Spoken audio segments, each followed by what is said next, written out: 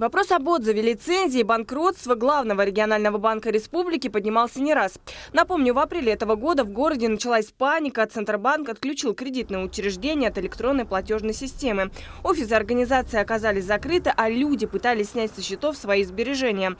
Тогда версий было несколько. Рейдерский захват и так называемый технический сбой. Их озвучил в эфире нашего канала пресс-секретарь банка. Я бы сказал, две причины. Это макроэкономика, макроэкономические причины. Ну, тот самый экономический но кризис они не первый день мировой у и так далее. Я понимаю, да, но кризис не приходит всем одномоментно в один день, да? Не все-таки, да. Вот, это макроэкономические причины и это управленческие решения. То есть э, Да. версия технического сбоя, она, Она, естественно, присутствует, конечно, да? конечно. Однако, что это за сбой, до сих пор неизвестно. Тем временем интенсивный вывод средств продолжался. Кроме того, после отключения банка от системы стали невозможным банковские платежи. Был введен лимит на снятие наличных, а уровень доверия компании падал с каждой минутой. Сейчас вот мы, э, вот здесь мы находимся, представители малого бизнеса республики. Ну, Мы работаем 8 лет и работаем все 8 лет в Байкал-банке, кстати. Вот с Байкал-банком у нас э, здесь открыто три счета. Э, И, если честно, говорю, что э, уровень доверия очень высокий был. В начале августа в суд обратился Центральный банк России в лице Национального банка Бурятии с заявлением о признании несостоятельным банкротом Байкал-банка. В итоге суд выявил признаки преднамеренного банкротства. Похищены кредитное досье, выявлена недосдача движимого имущества. В связи с отзывом лицензии назначена временная администрация, но пока никаких комментариев нам не предоставили. У нас а, Кузнецов Евгений Юрьевич сейчас не в Улан-Удэ, поэтому вам лучше перезвонить в конце ноября.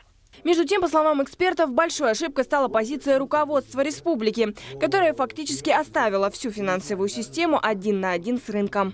До определенного момента, когда значит, э, развивается кризис компании, значит, там э, как бы за спасение кто-то борется, кто-то, может быть, не борется и так далее. Но после того, как э, значит, момент X наступил, значит, даже те э, лица, которые сражались за сохранение банка, да, они просто понимают, что все уже, значит, э, смысла дальше бороться уже нет, и просто все уже участники значит, этой ситуации начинают просто разрывать оставшиеся активы.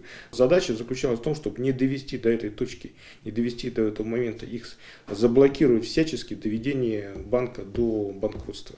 Но когда это уже пошло, там уже, как говорится, дальше уже ловить, что называется, уже нечего. Следующим шагом станет уголовное преследование бывшего и нынешнего руководства. Что такое банк? Банк – это литровая банка, набитая чужими деньгами. Чужими деньгами. Все деньги в банке, за исключением его чистой прибыли, это деньги клиентуры банка. И когда их выводят куда-то, это что называется? Простым словом, воровство. А должны отдать-то клиентам эти деньги. И мы, видимо, еще не один месяц, а может быть даже не один год будем еще писать и вспоминать и комментарии по этому банку давать.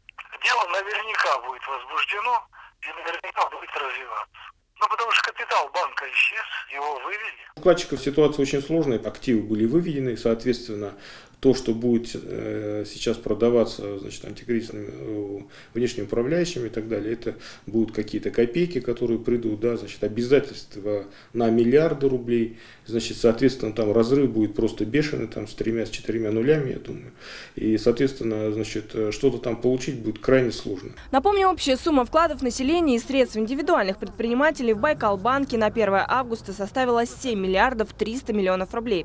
Агентство по сохранению вкладов должно выплатить из них около 6,5 миллиарда рублей. Компенсации представляют банки-агенты. В Бурятии это Сбербанк, в Крыму РНК-банк. Наталья Китаева, Юрий Шабаганов, Первая альтернативная.